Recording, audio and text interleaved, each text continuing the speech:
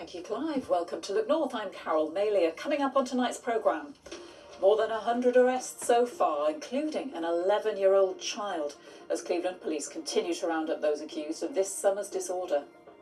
I've got 30 years as a police officer and I've never seen disorder on that scale. People have committed offences, they will be arrested and, if proportionate, to be put before the court. Almost a third of Northeast children live in poverty. The Northeast Mayor brings together leaders and campaigners to tackle the issue. Raising funds for research, the blood cancer patient encouraging people to become stem cell donors. And making match days more manageable, we meet autism advocate Ross as he works to make life easier for football fans.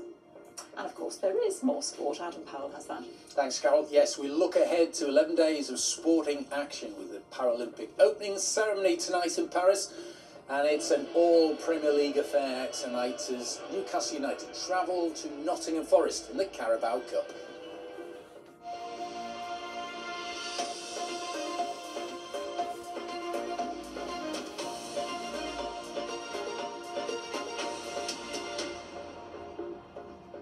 Good evening. A child of 11 is under arrest tonight after police investigating street violence carried out a series of early morning raids.